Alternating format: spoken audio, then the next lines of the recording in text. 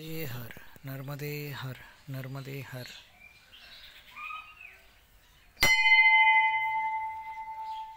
तिलकवाड़ा से निकलने के बाद हम पहुँचे हैं मणिनागेश्वर। उस तट पे भी था, इस तट पे भी है। वही कथा इस स्थान से जुड़ी है ये मणिनागेश्वर मंदिर का हनुमान जी मंदिर हनुमान जी महाराज। जय बजरंग बली की जय जय श्री राम, श्री हनुमान जी महाराज की जय। हनुमान जी महाराज के सामने श्री गणपति महाराज।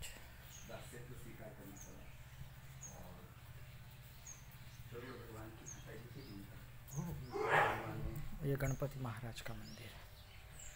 श्रीमन महागणाधिपते नमः ओम गं गणपते नमः ओम एकदंताय विद्महे धीमहि तन्नो प्रचोदयात्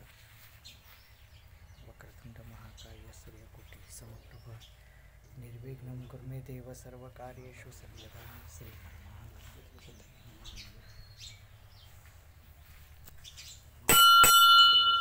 मणिनागेश्वर महादेव, नंदिकेश्वर भगवान जय कश्यप महाराज की जय श्री गणेशाय नमः। जय बजरंग बली की जय जय श्री राम ओम नमः शिवाय, ओम नमः शिवाय, ओम नमः शिवाय। नमो पार्वती पते, हर हर हर महादेव, मणिनागेश्वर भगवान की जय।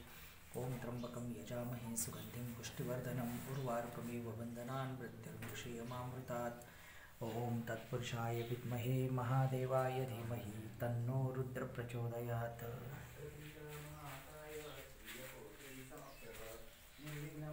नर्मदे हर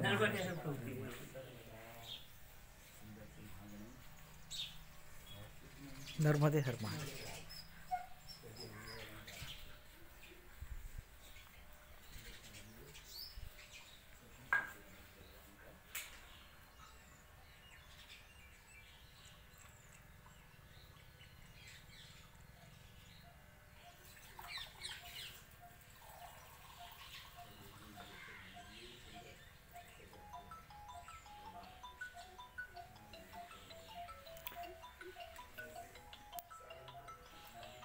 यहाँ पर कथा है। स्कंद पुराणानुसार मणिनागेश्वर तीर्थ का महात्म्य। कश्यप ऋषि की दो पत्नियाँ कद्रु और विनिता के बीच एक बार विवाद हुआ कि उच्च शवा अश्व श्वेत है या शाम विनिता सही थी, कहा कि श्वेत है। किंतु कद्रु ने अपने शाम सर्प पुत्रों को उच्च शवा को लपेटकर शाम दिखे ऐसा कहा। धर्मप्राण मणिनाग ने माता की आज्ञा न मानी, इसलिए कद्रु ने उसका त्याग किया। इसलिए वह रोते रोते नर्मदा तट पर शिवार्चन के लिए आया। उसके अश्रु से जो नदी का सर्जन हुआ, उसे मणि अर्थात मेण नदी के नाम से जानते हैं। विवाद में हारने विनीता कद्रू की दासी बन गई। अभी हम नदी क्रॉस करके आए वो मेण नदी थी। इस तरफ़ विनतानंदन गरुड़ ने देखा कि माता विनता दासत्व भोग रही है। इसलिए कद्रु को गरुड़ जी ने कहा कि माता विनता को दासत्व में से मुक्त करने के लिए मैं क्या करूँ? कद्रु ने अमृत लाने के लिए कहा, जो वह अपने सर्व पुत्रों को पिलाए।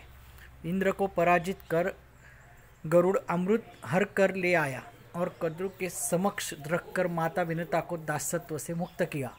इस दरमियान इंद्र ने ब्राह्मण वेश में आकर कद्रु और सर्पों से कहा कि नर्मदा स्नान कर पवित्र होकर अमृत पान कीजिए। वह सभी स्नान के लिए गए। इस दरमियान इंद्र अमृत कलश ले गया।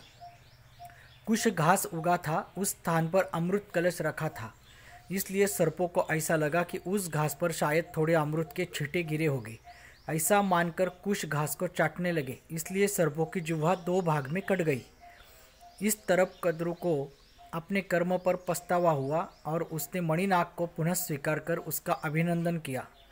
भगवान आशुतोष शिवजी को प्रसन्न कर मणिनाग यह स्थान पर आज भी निवास कर रहे हैं और यह तीर्थ मणिनागेश्वर नाम से प्रसिद्ध है।